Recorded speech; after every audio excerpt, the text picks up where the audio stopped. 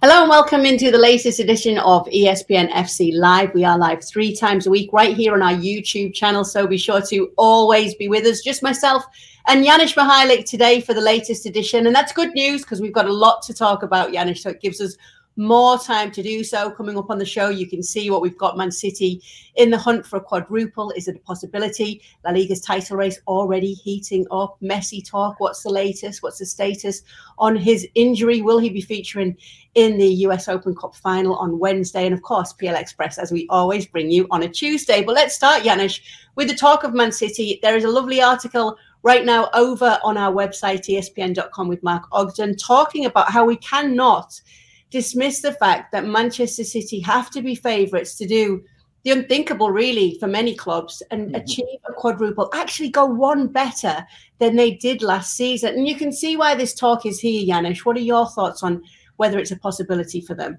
Well, of course it is, uh, based on uh, based on you know the the squad, their experiences last uh, last season, the fact that they've gotten rid of that uh, you know monkey that they've had on their uh, backs uh, in terms of not winning the Champions League sooner, but they have finally done it. So you know even for great players like that, it's a good experience and pressure's off to some degree. but of course, we have to remember that it's all it takes one bad night, one bad game. I mean, it could come tomorrow, rotated squad away to Newcastle St. James's, and that's gone. And there's nothing wrong with that. I mean, there, I'm sure there'll be some going crazy about the fact that they're out of one competition, but that's the way it goes right now. Still, I think, you know, I, I wouldn't think or even talk about quadruple. Uh, the treble, repeating that would be a feat in itself. And, and I'm sure if you ask Pep Guardiola, and I think he's already uh, been on record to kind of say that obviously uh, repeating his Premier League champions and defending uh, the uh, Champions League and the FA Cup are probably more realistic, if you can even say that, because that's crazy in itself. If they were to do that, uh, any anything above that would be a bonus. Yeah, obviously, because the reality is no matter how good your squad is, there are certain key components that can be missing that can cause a problem as well. Although that hasn't been the case for them so far, even without some of their key players in the squad who have been out through injury, they've still been looking unbeatable in many of the games they played. But here is Pep talking about a very similar situation ahead of that game in the Carabao Cup.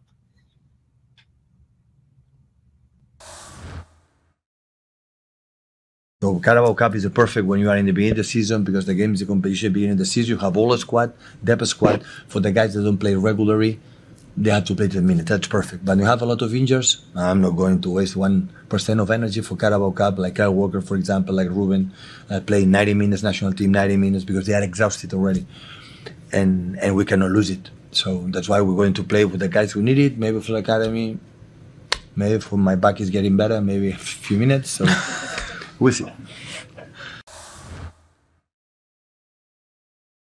Oh, I'd love that. See Pep Guardiola played in this game. He'd probably still be able to make a difference as well, even with his bad back. They, they really have set the bar to a new level, though, Janusz, even when they don't have all the players available that Pep would want. Well, absolutely. I mean, again, I mean, I think it's it's it's smart. It's also how easily some of the new players have adjusted. Right. That's that's not always the case. We see that from other teams, be Chelsea or Liverpool. It takes some time. And you look at Jeremy Doku, look at Gvardiol, um, probably forgetting uh, uh, somebody, even Kovacic, who who's played early on, and those players have already made a difference. So that's the scary part about Manchester City. And no matter who's out, uh, not only do they find a way, but I think they're used to that. Right right? I mean, I don't know if there's another club uh, in Europe that uh, you know where where kind of Pep has probably let everybody know early, I don't know, four, five, six years ago, that expect the unexpected. Anybody knows that they can play in every position. And you know what? They do it well. It sounds crazy when we talk about clubs that are struggling right now. Maybe the center of the midfield is missing that one particular player. And that's uh, just, you know, such a difficulty in terms of replacing that player. That doesn't seem to be the case. And as we know right now, uh, Rodri is going to be out. There's some big matches coming up. Again, Champions League and Arsenal. And somehow you feel, uh, okay, you know, I used to say that there are no irreplaceable players in Manchester City. Uh, I probably conveniently forgot Rodri at the time uh, at the time when I made that statement. But now, having slept on it for a night, I, I still think that they're capable of doing that and beating Arsenal, for example, or or anybody else for that matter, even without Rodri. Uh, obviously, they have to get some players back because Bernardo Silva is is a little bit injured, although not not terrible, uh, because he can feature in that center midfield. Kalvin Phillips is going to get his chance.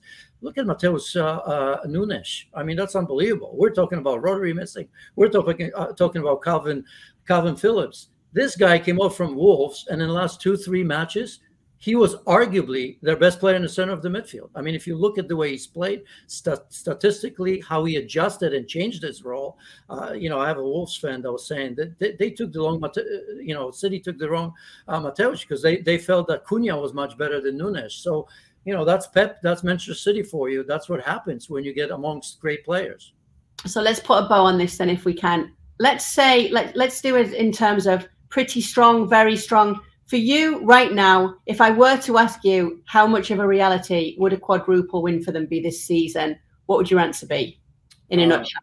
Not not impossible. I mean, okay. that, that's in its that in itself is good enough because, as I said, all it takes is one bad night, and if you have it, that still doesn't change, you know, anybody's thinking. I hope uh, about Manchester City how good they are.